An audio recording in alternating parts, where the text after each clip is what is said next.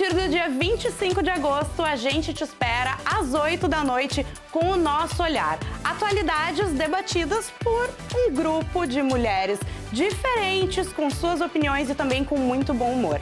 Até lá!